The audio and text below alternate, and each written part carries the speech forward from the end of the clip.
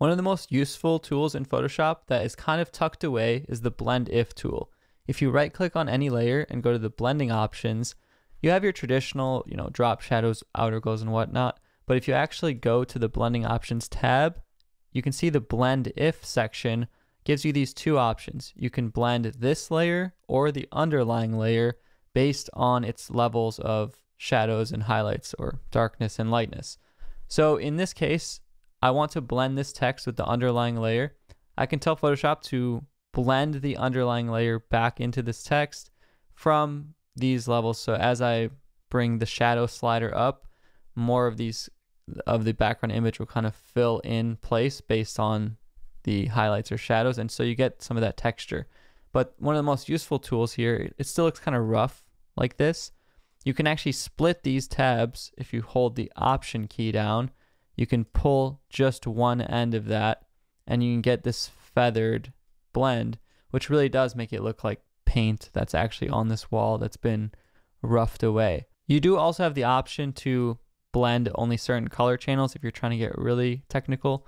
But another way that you can use this that you might not know about is if you're ever trying to remove a white background from something or a logo. Um, it doesn't always work perfectly, but this is one idea that you can do. I can right click blending options. And this time I can use the this layer section. I can just pull the highlights down. So I can remove the highlights so we're only getting these levels from 0 to 240 instead of all the way up. But I do just want to make sure I kind of feather that edge by holding option and splitting the playhead. Uh, this is a interesting way to try to remove white backgrounds for certain cases. It's not always perfect. And those are just two examples of how to use it. Um, really, you can get you can use it for technical or creative purposes. So it just allows you to remove based on the highlights or shadows and either remove from and blend from the current layer or from the underlying layers. On this in this example, when I pull the shadows up, the dark portions of the underlying layer start to show.